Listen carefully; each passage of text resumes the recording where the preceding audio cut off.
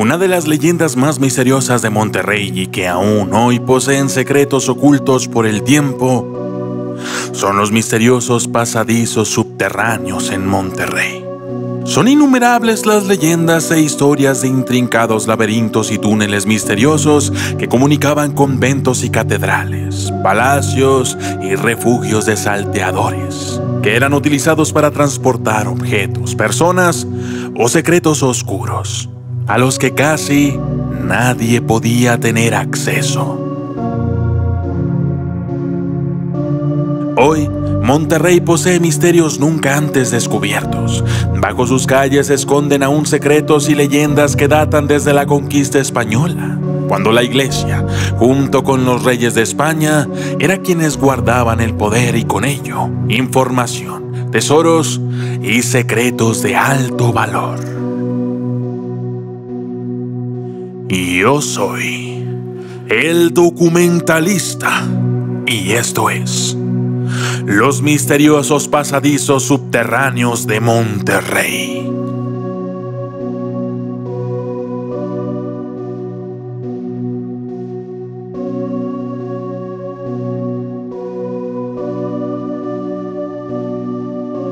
Se dice que bajo las calles de la ciudad de Monterrey, Nuevo León, están enterrados los huesos de esclavos que fueron usados por la iglesia para la realización de dichos túneles.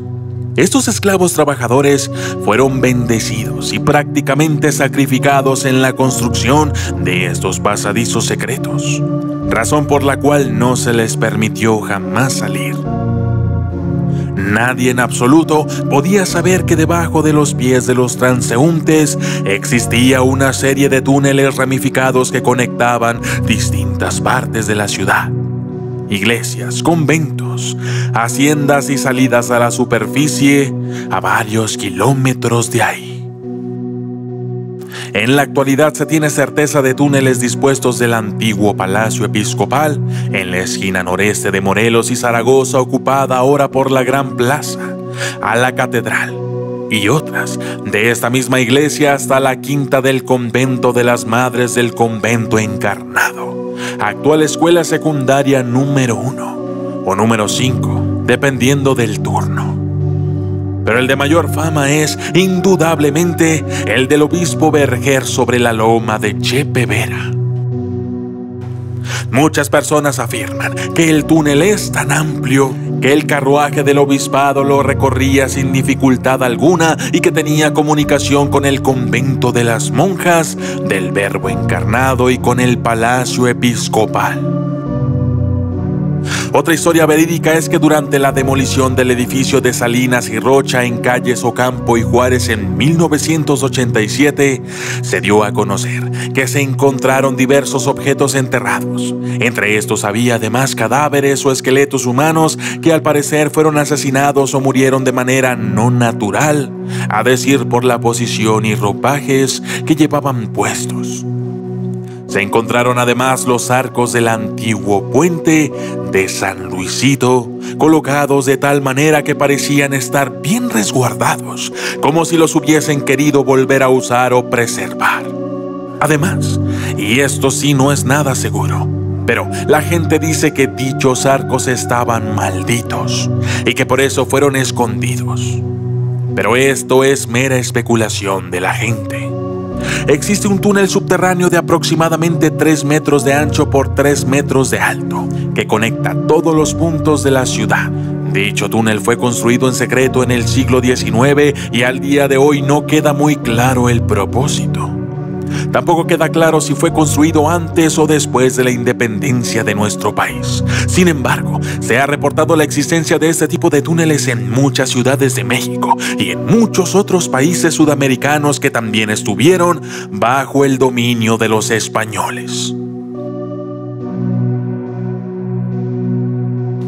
El especialista Benjamín Valdés, director de obras del INAH, Comenta que sería muy difícil hacer una obra de tal magnitud y que si se hubiera construido estaría registrado en algún libro de la historia antigua de Monterrey.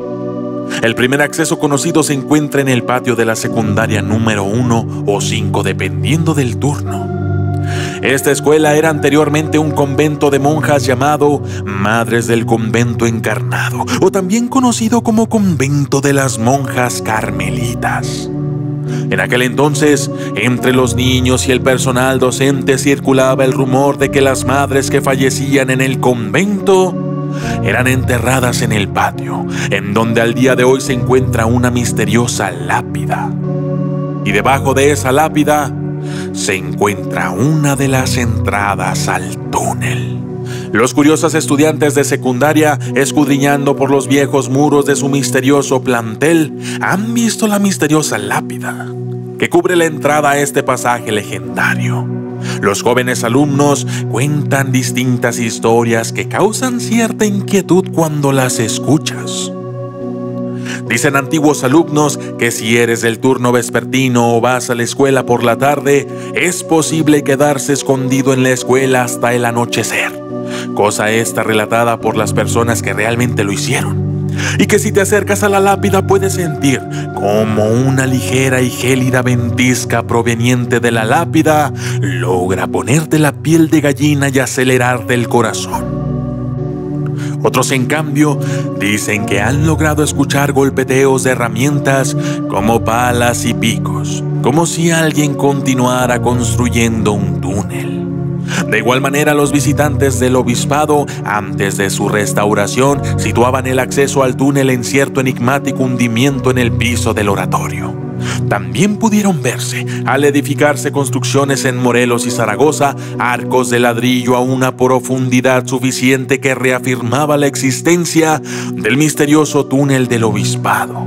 Cuentan testigos que en la escuela siempre hubo un baño clausurado, el cual cuidaban a todas horas los conserjes para no dejarle entrar a nadie, alegando que estaba en construcción y que era muy peligroso pero el baño nunca se arregló. Sin embargo, hubo personas que sí lograron entrar.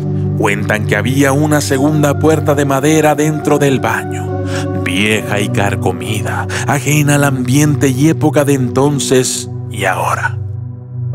Por lo tanto, si hubiese una segunda entrada, seguramente se encontraría ahí.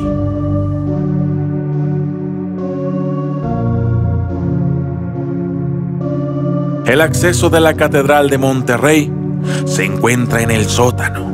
En un reportaje del programa Reportajes de Alvarado, bajaban a uno de los sótanos de la catedral. El sótano era perfectamente normal en tamaño y adecuación, con la excepción de un arco enorme que se dibujaba en la pared por una silueta de ladrillos de otro color.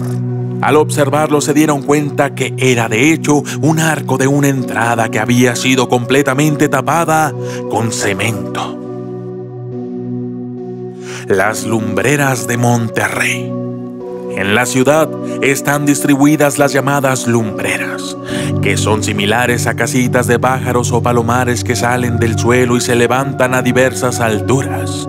En ellas hay entradas de aire, generalmente en la parte más alta la lumbrera más visible se encuentra en la calle Francisco Garza Sada, número 2948, justo en la banqueta de la Plaza La Salle Sur.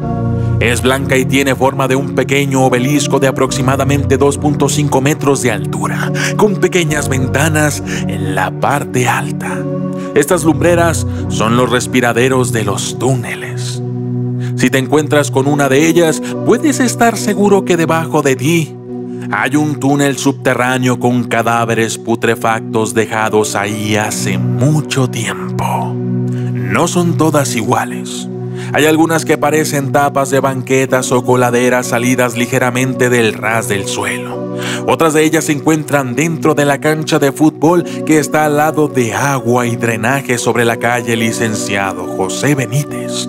En caso de no poder acceder a la cancha, la lumbrera puede ser vista desde el mirador del obispado. ¿Y tú? ¿Qué opinas? ¿Por qué crees que se construyeron estos túneles? ¿Cuál era su propósito? ¿Qué era lo que transportaban a través de ellos?